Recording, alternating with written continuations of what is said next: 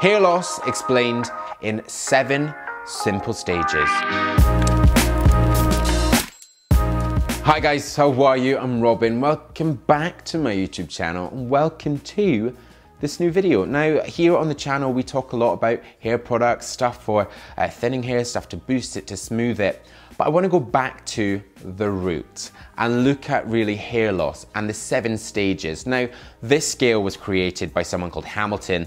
It was created in the 1950s and then it was sort of rejigged and developed redeveloped into the 1970s by someone called Norwood. Now, this scale is a scale that's used by doctors, by clinicians, by surgeons for hair transplants, and it's really become uh, kind of the go-to.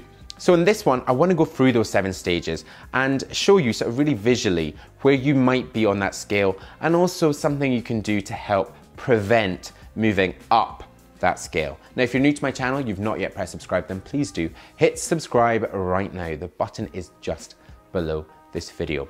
Now, hair loss can start as early as puberty. So really, you've just grown that hair in and then you start to lose it. But really, it is very individual. You could have a guy who's in his 20s, 30s, 40s, 50s who's starting to lose his hair or recede. But I should say there's a full solutions area on manforhimself.com. I'll link it up there.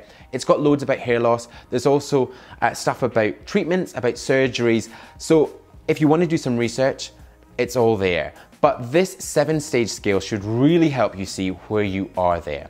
Now stage one is kind of where you start. So you've got all your hair, no receding hairlines, and it's looking good. Stage two, you're starting to see a slight recession and that starts on the temples really here. So it starts to move back.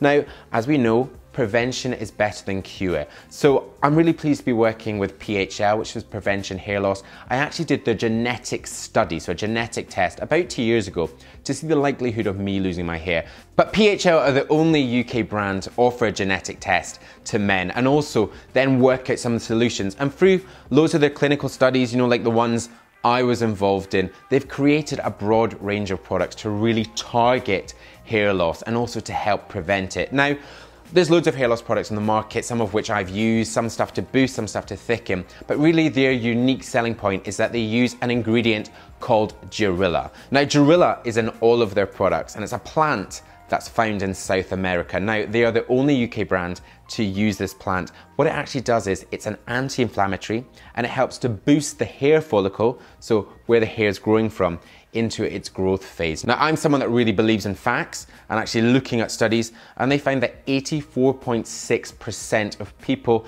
that used this for 90 days found it effective. So for me, I think that's a real winner. Now on to stage three of hair loss, you're gonna start to see that the hair is coming back even further, and that might create a U shape, an M shape, or a V shape.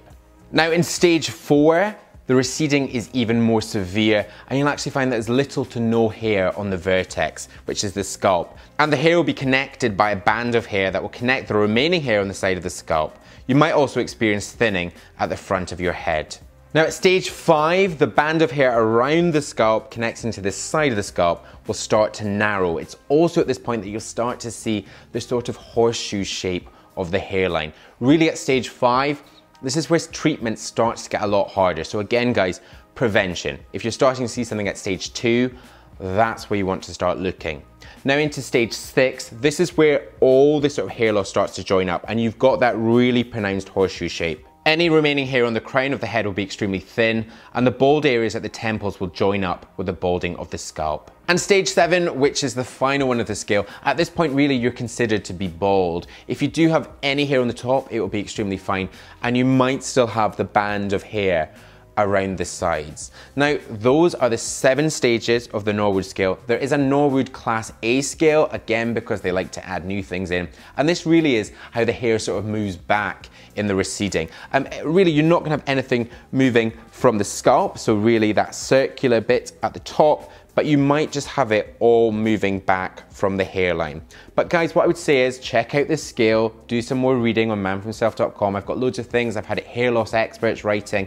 So there's absolutely everything going on, looking at treatments, Obviously with the PHL stuff, I've linked it down below, all their products, all their solutions, the genetic test. There's also a coupon code there, so if you want to save some money on it, then you can do so there. But thank you very much for watching. Hope you've enjoyed this one. Hopefully slightly informative and educational. You can let me know if you're on that stage scale, kind of what you're trying out. I would love to know. But thank you again for watching. If you're new to my channel, you've not yet pressed subscribe, then hit it. Hit it right now. The button is right there. So some more video suggestions down there. A link to my blog to that solution area for hair loss right there, and my social, including Instagram, up there.